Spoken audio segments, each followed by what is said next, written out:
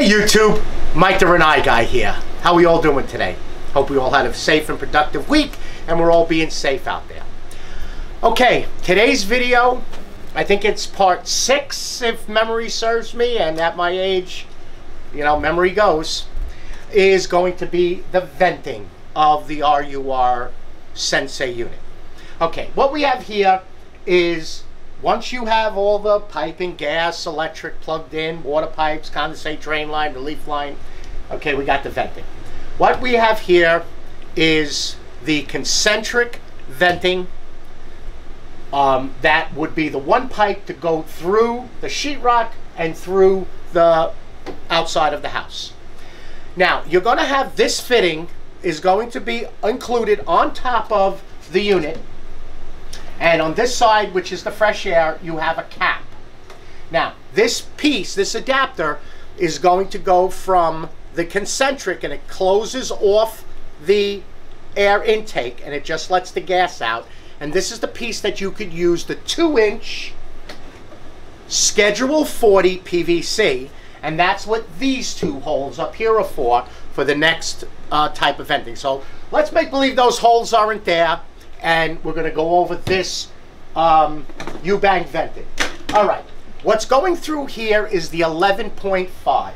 Then they make an 8-inch. Okay, so basically it's the concentric with the plastic inside. Remember, condensing needs the plastic. The box will say for condensing models only. So it has the dark gray plastic inside and the light outside. We're not going to confuse the issue, so I don't have the other one, but that will be on another video. All right, there is a mark on the vent that says top, so when it gets pushed through the wall, you know what's the top because that's the way it has to face.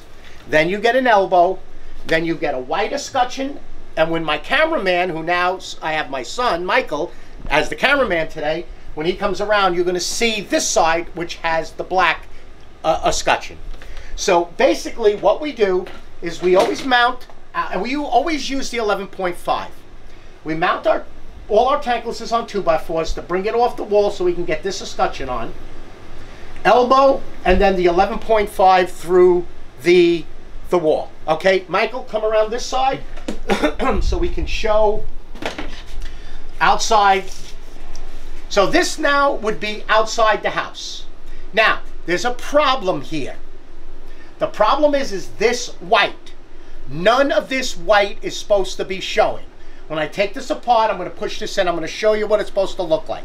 But the reason that I'm showing this is because you need to cut this vent. Now, I have a separate video on how to cut Rinnai Ubbink venting. But to figure out how you want to cut it is you assemble this piece so that that this pipe, this elbow and this pipe engages with each other. And then you just measure from the escutcheon to this black part. The reason that you don't want this is this white part is not UV protected.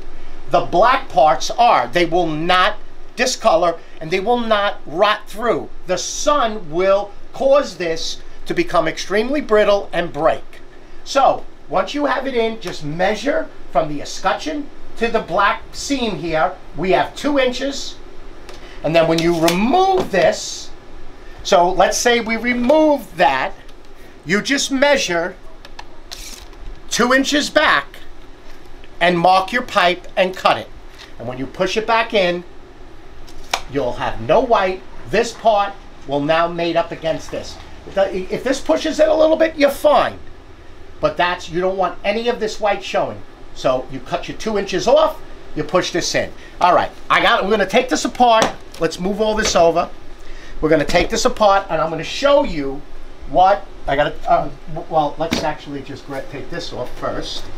And it is gonna be a little bit of a Dickens because the plastic is tough. Here, Michael, pop around this side. After you're done, you want to put the screw into here, which holds this down, and then you want to put screws here and here, which are supplied in all of the Ubbink venting. there's two little, three screws actually, inside of a plastic bag. All right, so let me pull this out and take this apart. Now it is going to be a little bit of a Dickens because the plastic really likes to hold in there.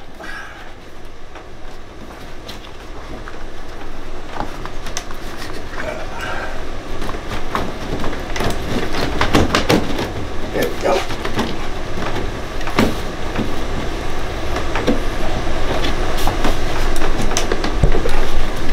There we go. All right. So now, Michael, come back around here. So that's the way you want the outside to look. Just like that. No white sticking out, just like that. And then the escutcheon on both sides. All right, let me, let's remove this. And I'm gonna show you. All right, Michael, let's go back over to here. They make a five by three.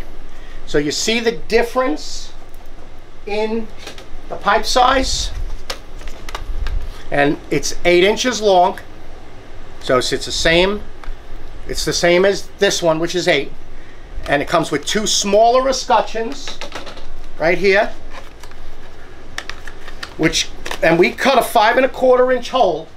It's just that this hole is a little bit too high because of the bigger pipe. And this here will fit right, oh, like, like the other, the other vent, you put a screw right in there, and then this will then go through and made up to this. It's a smaller vent. It's for when you're not going to mount it on 2x4. It goes right up against the wall and you can have a smaller vent go through. Uh, you see how the end is smaller, escutcheon smaller, pipe is smaller. And if you notice, you see how the inside black is a half inch longer than the white because that's when you cut this, you just don't measure your two inches and cut it. You need to cut this white part first, then measure, and this part has to be a half inch. But go, go look at my video, how to cut Rinnai Ubbink venting, and I do a full cut with the beveling, cleaning, blowing out, everything. All right. Now, say you want to use the two inch vent. So that's when you're going to need this piece. It's got to stay on. And that goes right there. So now only the exhaust is going to go up and out. You need to remove, there's a plastic, like almost like a plastic screw in here. And you're going to remove this vent. This is the air intake. This is the exhaust. This is the air intake. So I already have the pipes cut for the um, air intake.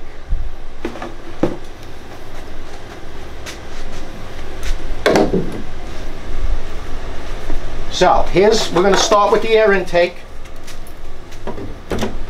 That in there, that will be like that.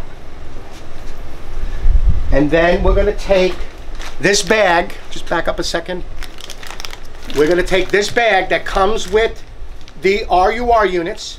And inside of this bag, there's two screens and two stainless steel screws. Now, inside of the instruction manual is two more screws. And that's going to be for here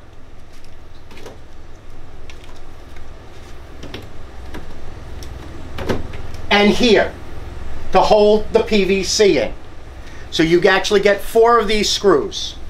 This screen is for the outside, and we're gonna go with that in a minute. It fits right into a two inch fitting. And then you wanna take your screws out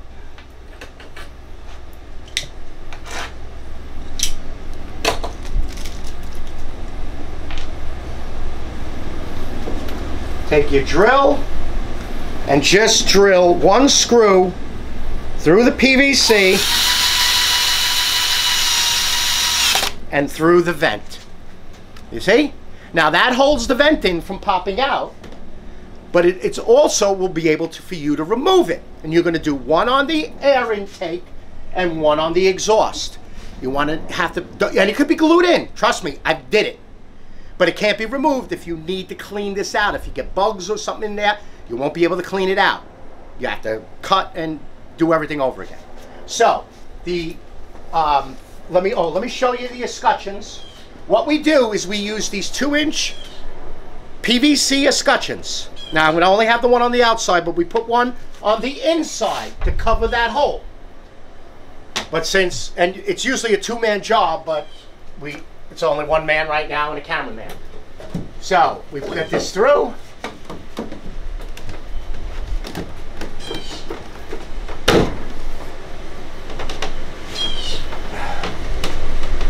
Okay.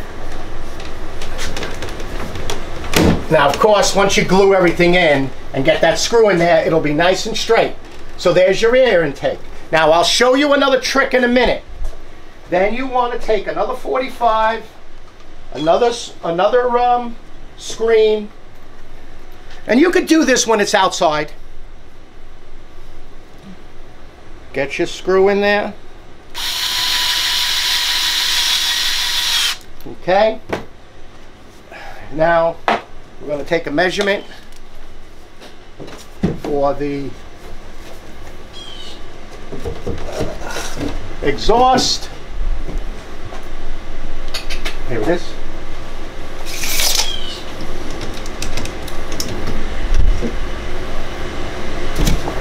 Alrighty.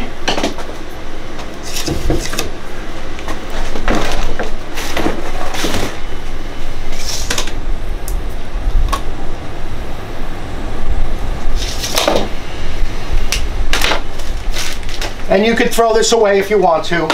We use this the, a PVC cutter, cuts it perfectly, nice and square. All right.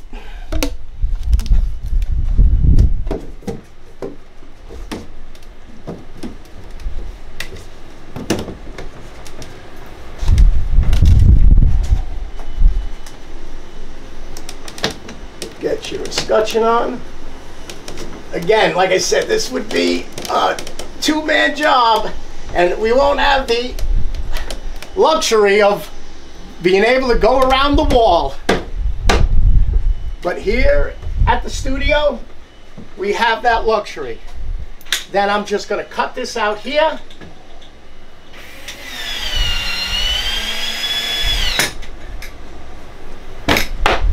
And then put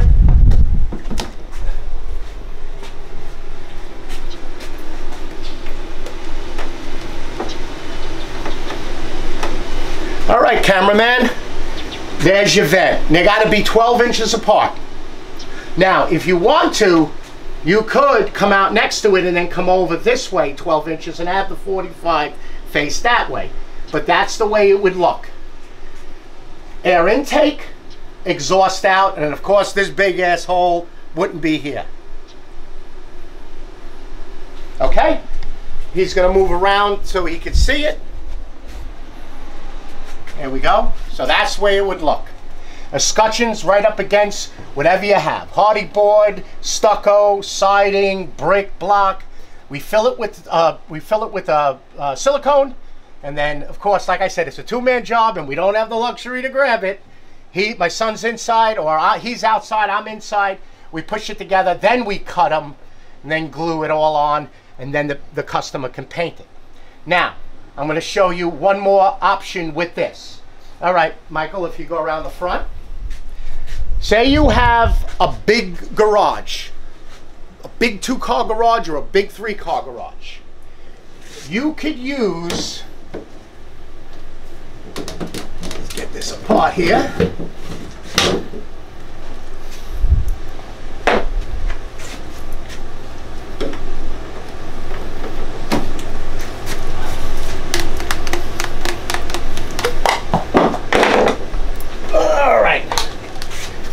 Let's make believe we didn't cut that hole. You could use garage air. So you could do that, put a screw, put Don't put the screen in the 45. Put the screen right here. And now you could use garage air to make the air intake. So like we have a large garage, even a big two car, nine, 10 foot ceiling, or a big three car, you could use that space. I wouldn't recommend using air in a basement. I wouldn't recommend, recommend using air from the house. But a big garage, you can definitely do it. So that's another option right here. Now, say you want to go through the roof. You can run 65 feet of this exhaust. Every elbow, you have to minus six feet. Every 45, you minus three feet. So you have 65 feet of total run, and then every elbow you minus six, every 45 you minus three, and that's how much pipe you run. And again, I cannot stress, it is Schedule 40 pressure PVC. So it's red letter, and it's the same stuff they use for water main, not the black letter, which is called foam core. Now, say you're going to go through the existing hole in the roof. You take the old B vent down. You have a big garage. You're going to use garage air. But you take, you pull the B vent down. Don't sleeve this through the B vent. Pull the B vent down and get a new shanty to bring this through. Now, what you want to do is up at the roof, you do not want to use a 45. So when you go through the roof, this is going through the roof, you don't want this. Rain is going to get in it. You don't want this, an elbow. I got, don't have enough hands here. So you don't want this with the screen. You want to use a return bend. You can make it out of an elbow or and a street L, or you can buy a 180 degree return bend. That's what you want coming up out of the roof, two feet, and put your screen right in that. And that would be your roof vent. And now, of course, if you if it happens to be a commercial application where you're not going to use room air and you're going to go through the roof with the two exhaust and fresh air, then you're going to, I would always face them opposite, at least two feet apart, and face them opposite. And you'll never have a problem with it. Okay? And of course, you don't need to, you just glue it. You don't have to go crazy with it, but just, and glue it. You don't have to prime it, it's not drainage, but just glue it. Hold it in, make sure it sets, and then you'll be good to go. And you always put your, your screw in here. Well, in here, you're gonna have a plastic screw. Put your screw in here, and your screw in here for, you know, your pipe for your garage air. Get it nice and straight, and put your screw in there and it'll stay. And that those screws come in the instruction manual. All right, YouTube? Okay, I hope um, this series was enjoyable. I hope you got out of it, a lot out of it. Um, I greatly appreciate all the calls and all of the comments that you guys have been putting. And I hope for all the phone calls that everyone has given, has sent to me and emails, I've been very helpful. All right. Again, in the uh, comments below will be my um, uh, email. And if you want to know about the venting, just give me an email and I'll shoot you back um, the model number and what I think you should need. If not, I'll send you my phone number. You call me. The best time to always call me is between 5 and 6 o'clock Eastern time because I'm in Florida uh, when I get home and then I can spend time on the phone with you. All right, YouTube? You all enjoy that endless hot water, and I'll see you on the next video. Bye-bye now.